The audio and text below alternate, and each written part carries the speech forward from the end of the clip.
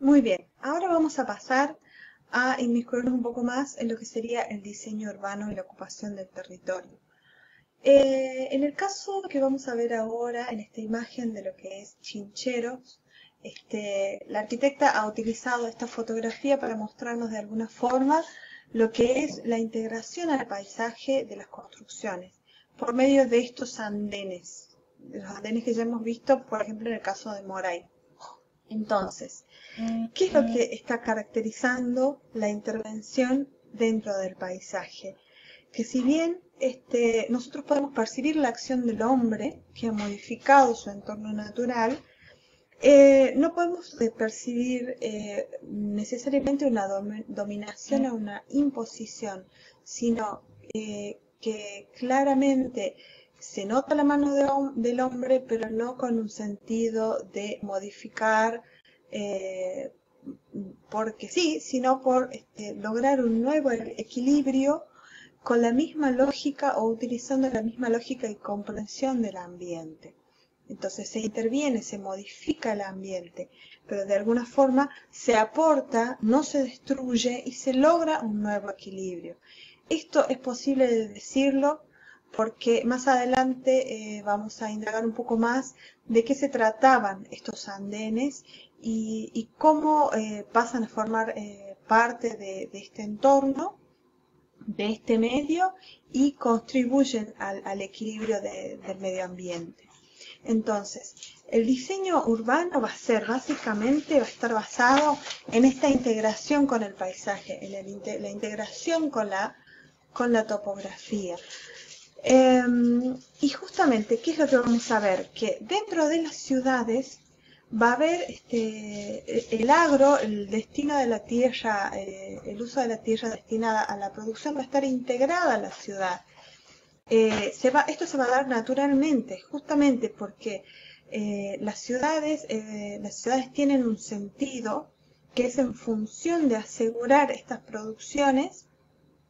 para la supervivencia de las comunidades. Entonces, se da naturalmente una integración de los espacios destinados a la producción, de los cursos de agua, de los sectores de vivienda y una en donde se encuentra todo imbrincado, lo sagrado, lo productivo, lo cotidiano, lo práctico, lo material, con este, lo simbólico, por así decirlo. Entonces,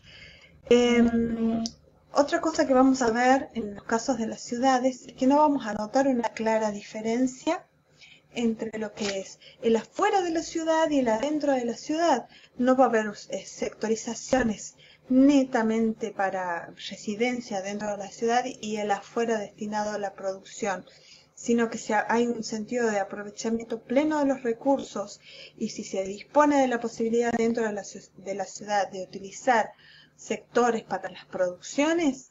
se la utiliza de una manera muy natural, de una, forma eh, que, surge muy naturalmente, por así decir. Entonces, eh, en el caso de la planificación urbana incaica, eh, la gran mayoría de la planificación urbana se ha dado eh, ocupando ciudades preexistentes o centros urbanos preexistentes que han sido modificados, que han sido dotados de elementos ordenadores que son propios de la cultura que se desarrolla con el Tahuanti suyo,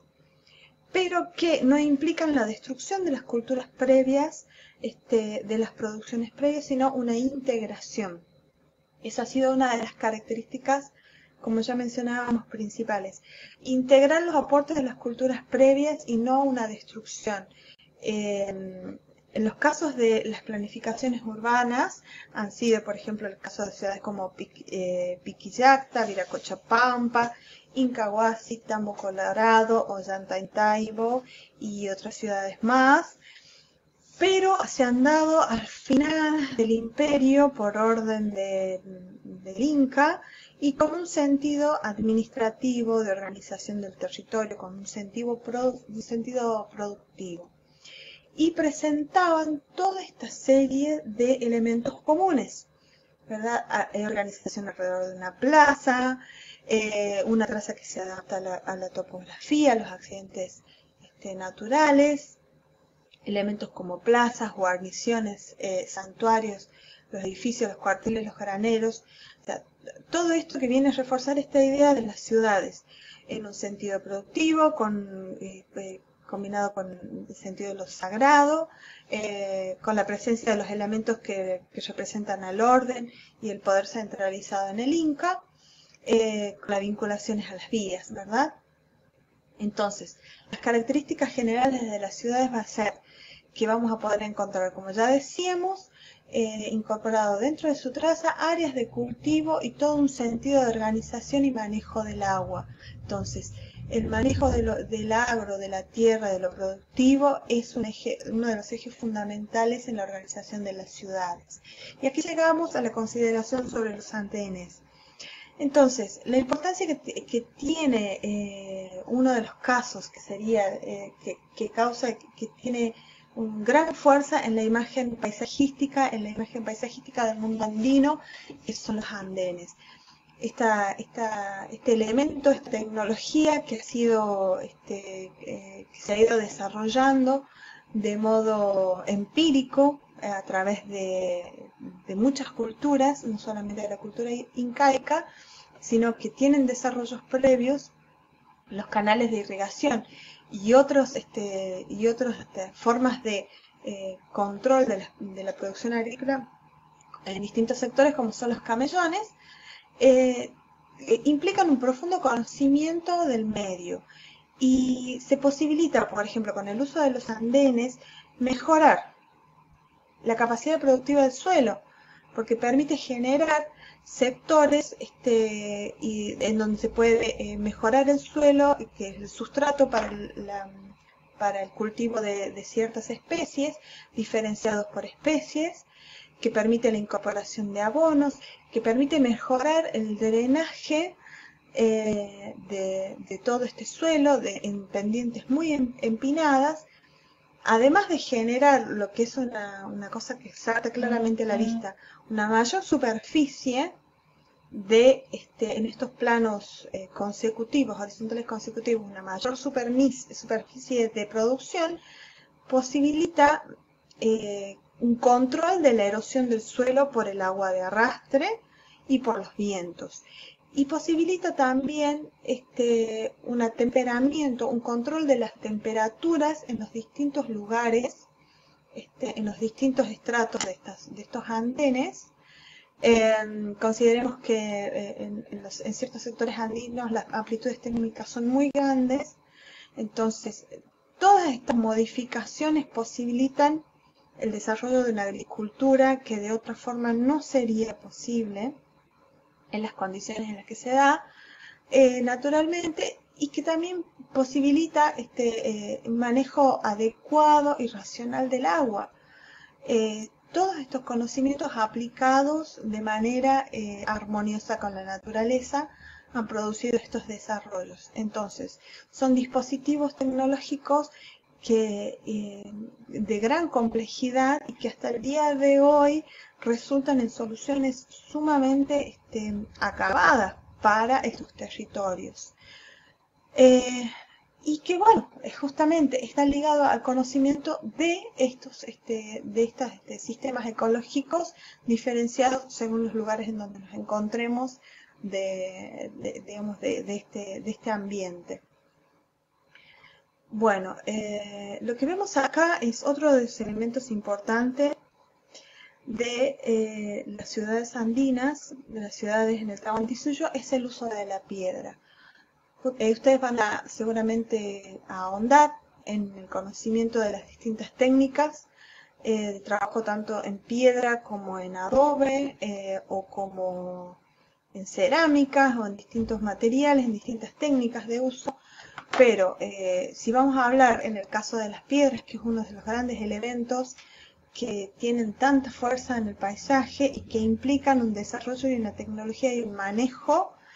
eh, muy importante, este, eh, altos conocimientos sobre eh, lo que es el tallado de la piedra, la movilidad de estas piedras y las uniones. Lo que más impacta es justamente la complejidad de las uniones como si fueran grandes, este, grandes rompecabezas, no solamente en un plano, sino tridimensionalmente, y la perfección de las uniones de estas piedras. Todo esto conforma un sistema estructural eh, a nivel arquitectónico y a nivel urbano que tiene una respuesta excelente y hasta el día de hoy son sumamente eficientes para las condiciones sísmicas de, todos estos sectores. Eh, se supone, este, o este, realmente se, sabe de que los techos de las casas, de los, templos, la mayoría eran eh, hechos en pie, en, perdón, en madera, paja o materiales livianos, básicamente, que implican justamente este conocimiento profundo de eh, las condiciones este, antisísmicas de una construcción.